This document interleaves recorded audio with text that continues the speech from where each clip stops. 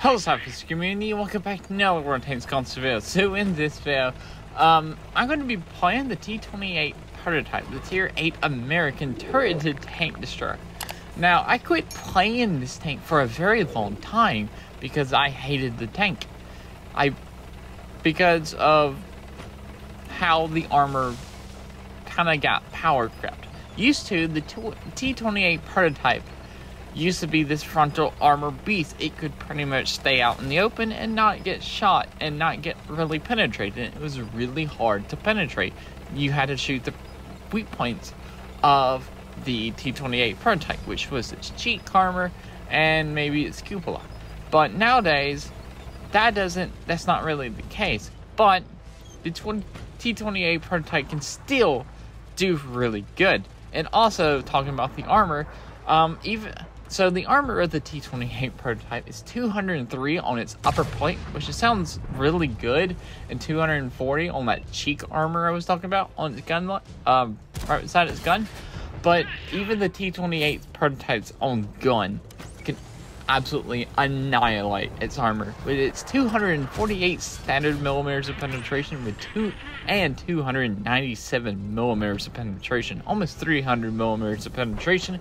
Eloyd premium and the T28 prototype armor kind of doesn't exist anymore. But it doesn't mean the armor doesn't exist anymore. Just not in the frontal aspect of like how the tank used to play. Now, I've played the T28 prototype even more. At first, this is how I play it. At first, at the beginning of the match, you kind of want to sit back. You want to save those hit points. Sit back. It doesn't really matter if you. It matters if you get spotted. You don't want to get really get spotted, but if you do, you have a little bit of armor to help you protect it. Yes, you are a frontally armored strong TD, but like I said before, 203 just not as effective as it was. It's more like mid range and for like end of fight battles. The T28 prototype has kind of fallen from the frontal tank destroyer that used to be to like a more passive at the beginning of the match to like a more aggressive TD at the end of the match where it can finally use its armor and try to play at a distance the entire match like I'm going to be doing right here in this match, and it's going to help me out so good. And the T28 prototype also has a really, really good gun. I have always remembered the T28 prototype having a really good gun.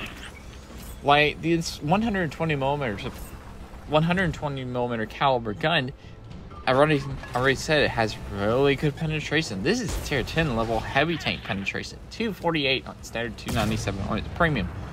Right, got that. Um, it does have 60 millimeters of high explosive pen, um, 400 damage per shot on standard and premium, which gives and also has a rate of fire of 5.94, which is about a reload of 10 seconds, which gives this tank a DPM of 2,376. Um, it does also have 10 degrees of gun depression, 0.33, uh, 0.38 accuracy. Aim time is 2.1 seconds. But yeah, and I already did 2700 damage in this match. Also, if you end up liking this video, consider subscribing because it's free and it helps out the channel a ton. So the mobility of this tank is also 28 forward, 11, uh, 10 reverse, with a power to weight ratio of 11.76. Speed range is 380, which ain't bad for a frontally good armor tank. So yeah, I'm being more passive. As you can see, I'm being passive. I've gotten a position where I'm defending. I'm not being aggressive like I used to be able to do in the T28 the prototype. Right now, I'm being passive. I'm letting the enemy team cross over to the over the railroads into the open, out in the open, and they're going to get spotted and they're going to get shot to pieces. But this is a quite decently long match. Like I said earlier, at the very beginning of the match, you kind of just want to stay at a distance. If you get spotted, it's not the end of the world because at the at longer distance, shells start losing penetration unless they're firing heat rounds. But, so that should help your armor. As long as they're not firing heat rounds, they're firing heat rounds, well, good luck. It doesn't matter at what distance, still going to be the same amount of penetration. But, stay concealed as much as you possibly can at the beginning of the match. As the match perfor- uh, progresses, you can be a little bit more um, aggressive as the match progresses. So, yeah. So you can start sacrificing those hit points. Start trying to use that little bit of armor. When this tank gets top tier, tier 6s and tier 7s kind of struggle against it. And also, the armor is there to try to let you, like, kind of pushed up. I did bounce a couple of shots, 890 damage blocked, but one of those shells actually did penetrate my armor. So yeah. Also, I didn't talk about the side armor. Don't ever get shot in the side of this tank. Well, it has a 50.80 mil, 50.8 millimeters of armor, which doesn't sound like a lot, but that is enough armor to not get overmatched by 151 millimeters of armor or lower. Uh, 151 millimeter caliber guns or lower, or maybe 152. Think it's 152 for that for this tank, so which is really nice. And for not getting overmatched by those tanks, but in the back of the armor is also 50.8. Also, I bounced 1,780 damage so far, and I'm down to half hit points. As you can see, the match is progressing, and I'm starting to use my armor advantage. And I just got penetrated again. That's a same tier heavy tank, and I'm down to a one shot. I've used all all my armor and hit points. As you can see, the armor doesn't really hold up as much as it used to. And it's just sad. But the gun, and if you play this correctly, play this tank correctly, it just works really, really well. And I can definitely see love in this tank. And I think this match actually gave me a mark of excellence on my T28 prototype. And we're definitely going to do much more damage in this game. Uh, yes, there's three tanks left, but I think we I think we get to do all the remaining damage that is up on the board.